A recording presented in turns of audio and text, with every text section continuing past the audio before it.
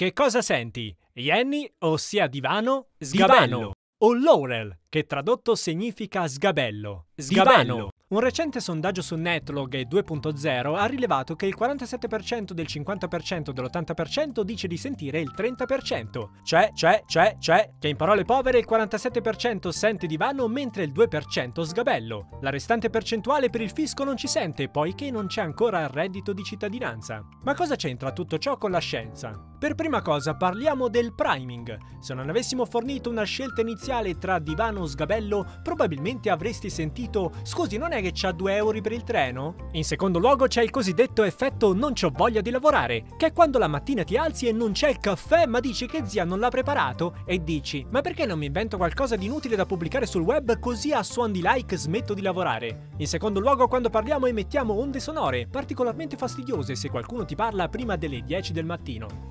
Invece, cosa sentite adesso mentre mi lavo i denti? Vediamo qui la rappresentazione grafica di divano e sgabello messi a confronto, a cura del professore di università di università.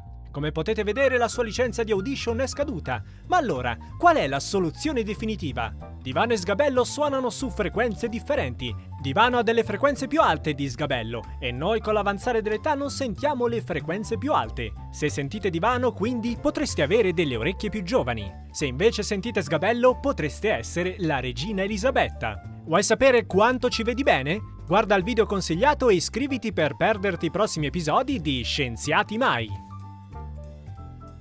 Da oggi l'inutilità è indossabile. Acquista le magliette di Canale Test e altre cose a caso sullo shop ufficiale. Ma affrettati, i super saldi scadono domenica.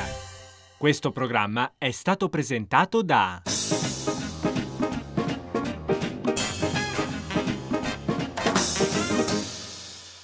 Segui e commenta Canale Test su YouTube, Facebook, Twitter, Instagram, MySpace, Netlog e altri social dismessi.